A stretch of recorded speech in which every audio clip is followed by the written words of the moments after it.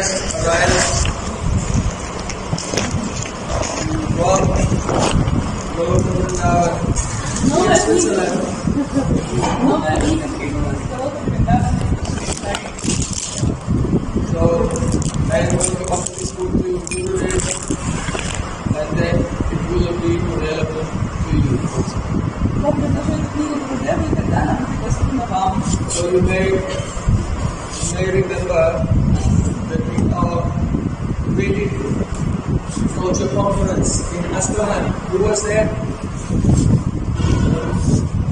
Можно вспомнить, как на нашем фестивале в Астрахани. For three days, we spoke one verse explaining how to overcome difficulties in chanting japa. Три дня мы обсуждали стих, который помогает преодолеть препятствия в основании джапа. So I know that some of you are experiencing some difficulties. Я знаю, что некоторым из вас трудно.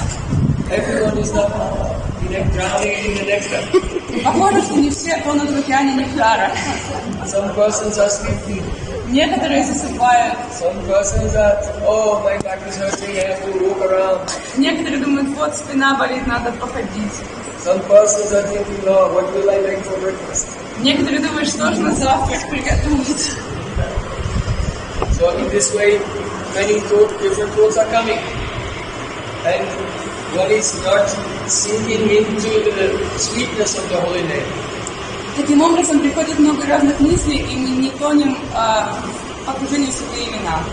So I identified 15 obstacles to chanting А, я выделил 15 препятствий при воспевании. and composed a verse, and in one verse, all 15 obstacles are solved. И составил стих, и с помощью этого стиха все эти 15 препятствий могут быть э, So this разрешены. verse is called First Aid for Chanting Japa.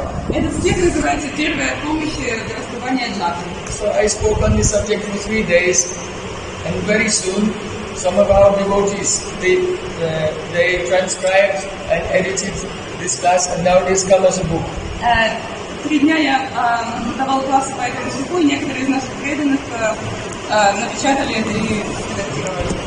So this book is not for distribution to everyone. А эта книга не для того, чтобы раздавать ее всем. It is only for my Anuga- Anugajan.